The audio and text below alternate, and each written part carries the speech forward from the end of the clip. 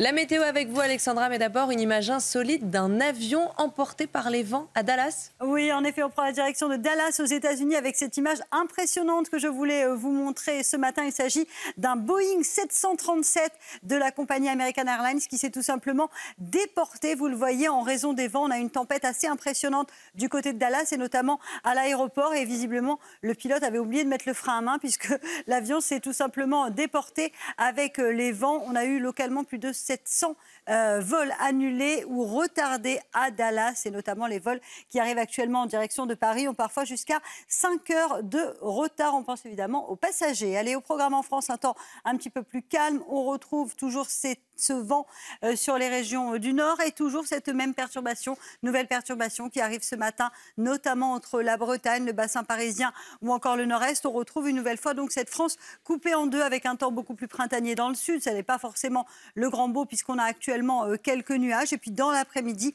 la perturbation va progresser un petit peu plus au sud, hein, notamment si vous êtes du côté de Bordeaux ou encore en allant vers le sud de la Bretagne à Nantes. On attend de la pluie aujourd'hui, de la pluie également sur le bassin parisien, sur la Lorraine, sur l'Alsace ou encore euh, sur les Ardennes. Certains euh, parlent de météo automnale. Eh bien, vous avez raison, puisqu'en plus, les températures resteront un peu fraîches pour la saison. Alors ce matin, c'est globalement assez doux à l'échelle nationale, 14 degrés à Paris, 13 degrés pour le Pays Basque ou encore 17 degrés à Nice. Et dans l'après-midi, les températures sont largement en dessous des normales de saison, hein, notamment euh, sur le nord avec 17-18 degrés en moyenne en allant vers le Pas-de-Calais. Vous aurez 24 degrés à Bordeaux, 22 degrés pour 24 degrés pardon, à Toulouse, 22 degrés pour le Pays Basque et localement jusqu'à 28 degrés du côté de Perpignan.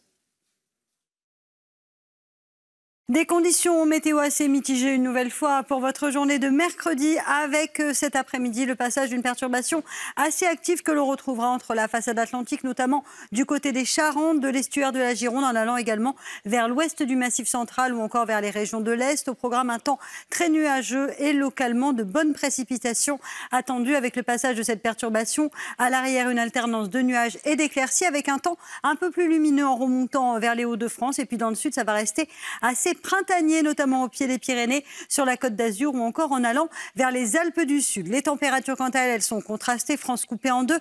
Fraîcheur au nord avec seulement 16 degrés à Nancy ou encore 17 degrés à Reims, tandis que vous aurez localement 27 degrés à Marseille ou encore à Montpellier et jusqu'à 28 degrés à Perpignan. Demain, un retour des orages, un temps variable et instable avec en prime une baisse des températures. Vous l'aurez donc compris, on n'en aura pas fini avec les orages puisqu'on aura des orages au moins euh, jusqu'à vendredi inclus avec des températures qui vont de nouveau baisser. L'été n'est pas encore arrivé, loin de là.